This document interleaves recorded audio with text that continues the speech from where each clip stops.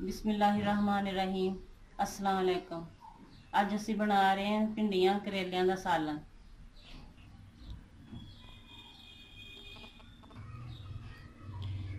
ਸਾਲਨ ਬਣਾਉਣ ਵਾਸਤੇ ਅਸੀਂ ਲਏ ਕਿਲੋ ਕਰੇਲੇ, ਅੱਧਾ ਕਿਲੋ ਭਿੰਡੀਆਂ, ਅੱਧਾ ਕਿਲੋ ਪਿਆਜ਼ 7-8 ਹਰੀਆਂ ਮਿਰਚਾਂ 3 ਤੋਂ 4 ਟਮਾਟਰ, ਇੱਕ ਲਸਣ ਦੀ ਗੱਠੀ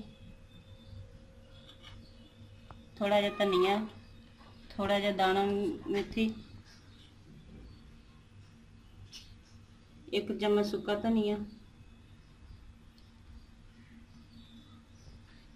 ਇੱਕ ਚਮਚ ਨਮਕ, ਅੱਧੀ ਚਮਚ ਸਰੋਂ ਦੇ ਬੀਜ 7-8 ਕਾਲੀਆਂ ਮਿਰਚਾਂ,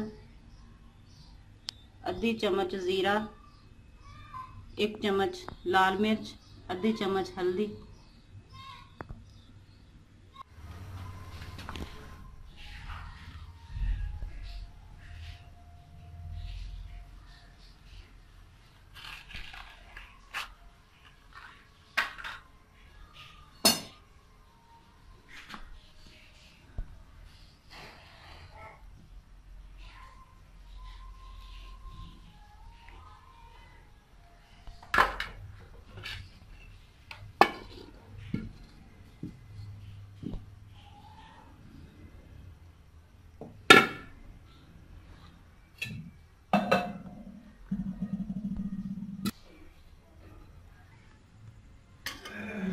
ਸਭ ਤੋਂ ਪਹਿਲੇ ਅਸੀਂ ਘਿਓ ਪਾਵਾਂਗੇ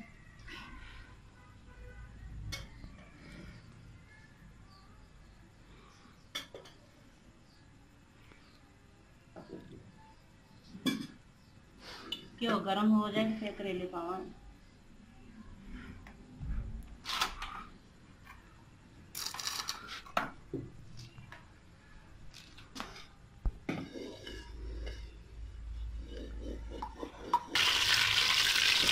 ਘਿਓ ਗਰਮ ਹੋ ਗਿਆ, ਹੁਣ ਅਸੀਂ ਕਰੇਲੇ ਪਾਵਾਂਗੇ।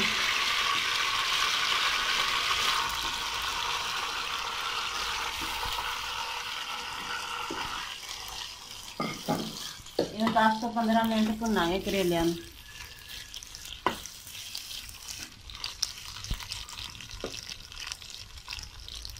ਕਰੇਲਿਆਂ ਨੂੰ ਤਲਦੇ 15 ਮਿੰਟ ਹੋ ਗਏ, ਹੁਣ ਅਸੀਂ ਕਰੇਲੇ ਬਾਹਰ ਕੱਢ ਲਾਂਗੇ, ਫਿਰ ਅਸੀਂ ਭਿੰਡੀਆਂ ਤਲਾਂਗੇ।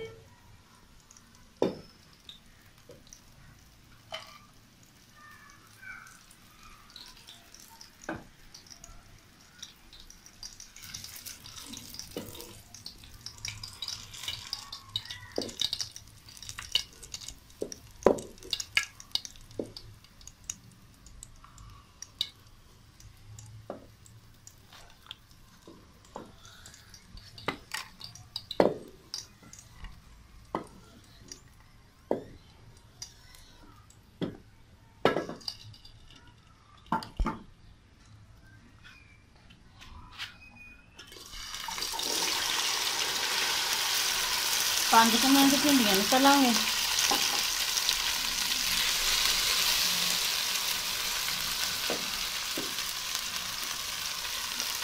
ਭਿੰਡੀਆਂ ਨੂੰ ਤਲ ਕੇ ਵੀ ਕੱਢ ਲਵਾਂਗੇ।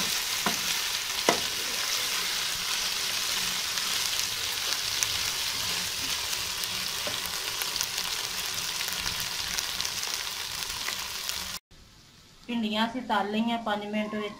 ਹੁਣ ਅਸੀਂ ਭਿੰਡੀਆਂ ਨੂੰ ਕੱਢ ਲਵਾਂਗੇ।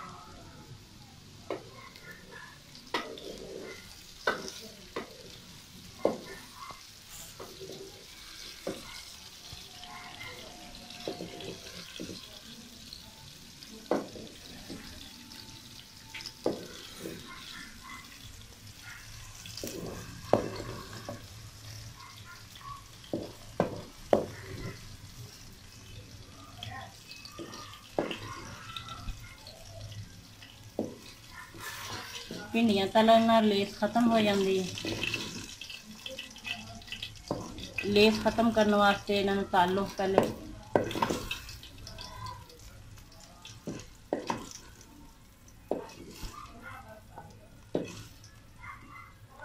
ਕਰੇਲੇ ਤੇ ਭਿੰਡੀਆਂ ਨੂੰ ਅਸੀਂ ਤਾਲਿਆ ਹੁਣ ਅਸੀਂ ਪਿਆਜ਼ ਪਾਵਾਂਗੇ ਮਸਾਲਾ ਬਣਾਉਣ ਵਾਸਤੇ।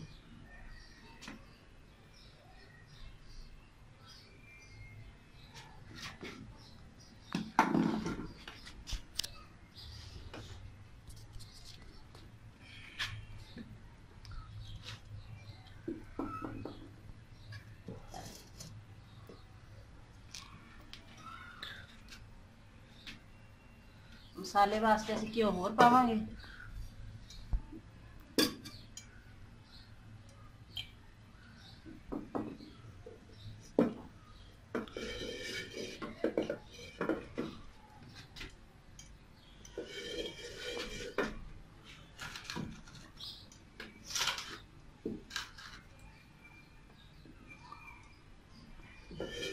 ਘਿਓ ਗਰਮ ਹੋ ਗਿਆ, ਹੁਣ ਅਸੀਂ ਪਿਆਜ਼ ਪਾ ਦਾਂਗੇ।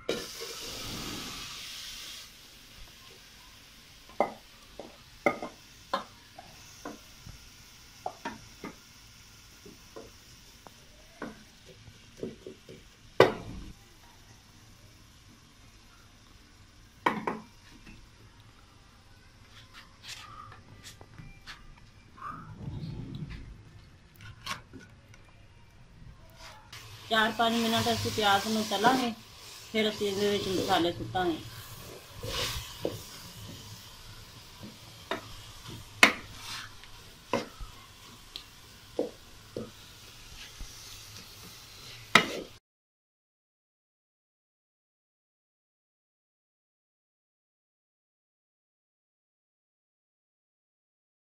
ਪਿਆਜ਼ ਅਸੀਂ 5 ਮਿੰਟ ਭੁੰਨ ਲਿਆ। ਹੁਣ ਅਸੀਂ ਲਸਣ ਪਾਵਾਂਗੇ।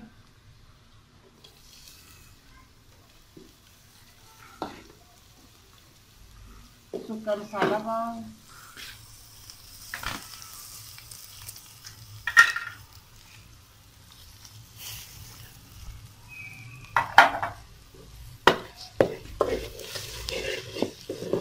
दो मिनट इन्हें तो नागे अच्छी तरह मिक्स हो जाए प्याज ज़्यादा ब्राउन नहीं करने, बस हल्के गुलाबी गुलाबी प्याज हों।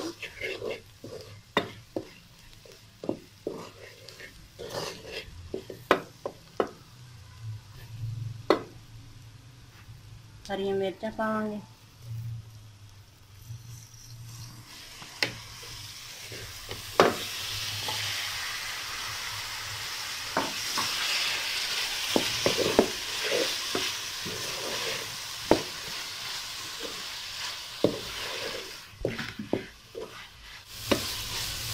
Okay.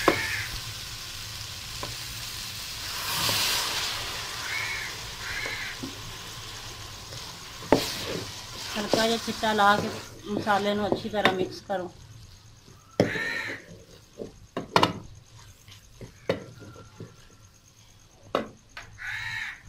ਗੰਡੇ ਟਮਾਟਰਾਂ ਦਾ ਮਸਾਲਾ ਸਾਡਾ ਤਿਆਰ ਹੁਣ ਅਸੀਂ ਭਿੰਡੀਆਂ ਕਰੇਲੇ ਪਾ ਕੇ ਦਮ ਤੇ ਰੱਖ ਦਾਂਗੇ।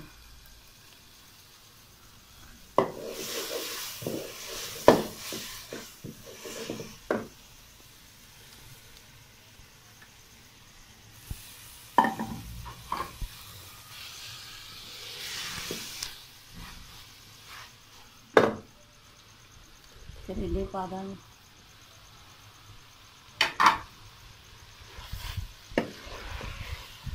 ਹਲਕਾ ਹਲਕਾ ਜ਼ਰਾ ਮਿਕਸ ਕਰਕੇ ਫਿਰ ਇਹਨੂੰ ਦਮ ਤੇ ਰੱਖ ਦਾਂਗੇ।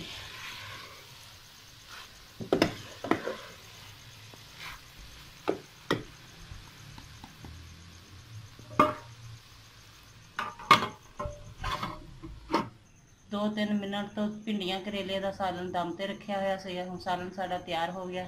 ਹੁਣ ਅਸੀਂ ਕੱਢ ਲਵਾਂਗੇ।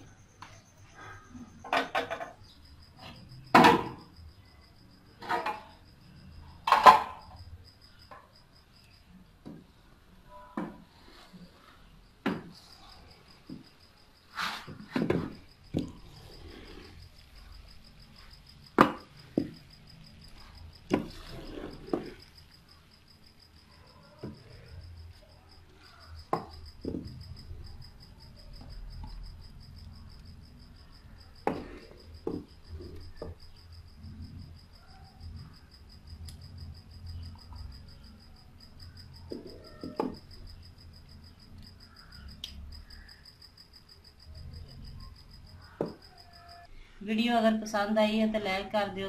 ਸ਼ੁਕਰੀਆ।